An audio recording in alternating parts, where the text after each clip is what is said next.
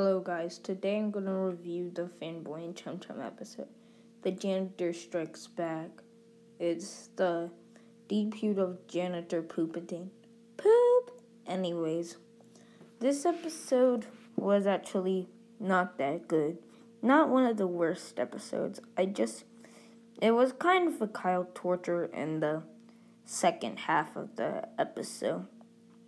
So, yeah, and some parts were just creepy. My only favorite part was that. actually. I actually have two favorite parts. No, three. Never mind, three, yeah.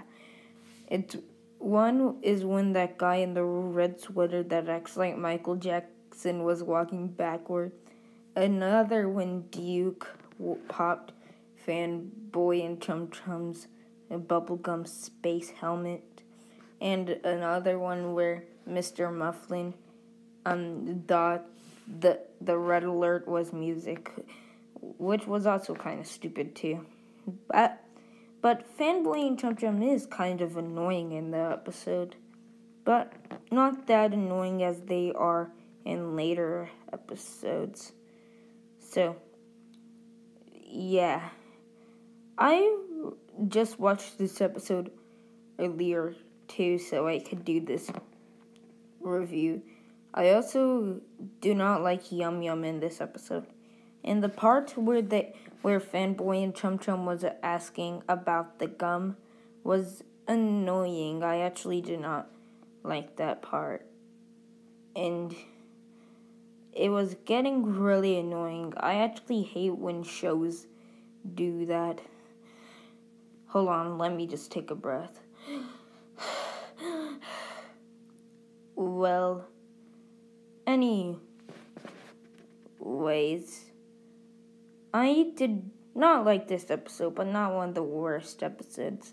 Again, I did not like this episode, but it's not one of the worst episodes. And Mr. Mufflin was kind of pointless, even though he was funny in this episode. And other parts it was just annoying. And it was kind of disgusting that part where Yum Yum farts a gum bubble out and it pops and fart comes out. That's disgusting for a kid show. They think kids like gross stuff. Anyways, they there was also this other disgusting part where Yum Yum comes out of the bathroom. So yeah, guys. That's all I have to say about this episode and I'm going to say my rating about this episode soon. I'm going to rate this episode a awful episode.